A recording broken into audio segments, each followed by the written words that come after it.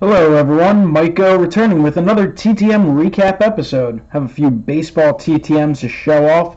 Uh, sent out in late September or early October. First up, Bryan Harvey, former California Angel, also spent a little time with the Marlins. Uh, sent this out in September. 4 of 4 uh, success in 35 days. So, nice Bryan Harvey success. The 91 Topps are two of those. Plan on giving one of these to uh, a friend of mine who is a an Angels fan.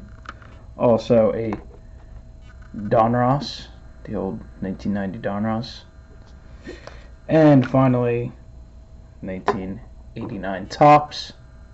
Big fan of the 1989 Topps, 88 and 89 Topps among my two favorites. So, very happy with that success from Bryan Harvey.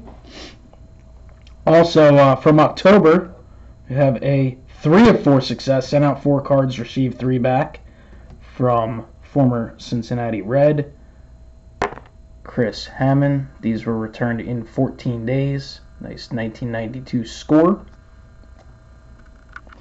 Also in 1990 score, rookie card. Card got a little uh, beat up in the mail, but you know, not too bad. Not, another nice success there, and a 1991 Fleer, which are uh, a great card for TTMs, and uh, you can pick up cheap. Get a whole set for like five bucks if you uh, find them at the right place. So, nice success there out of from Chris Hammond. And finally, for today,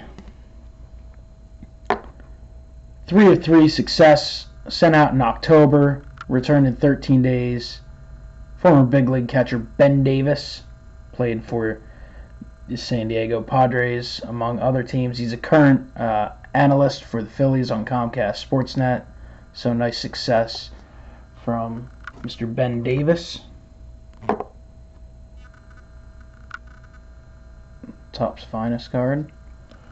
And finally, Topps Heritage from back in 2002. So a nice success there from Mr. Ben Davis. So I want to thank everyone for watching. Comment below, let me know what you think, and uh, I'll continue to have more videos up. So thank you to everyone once again.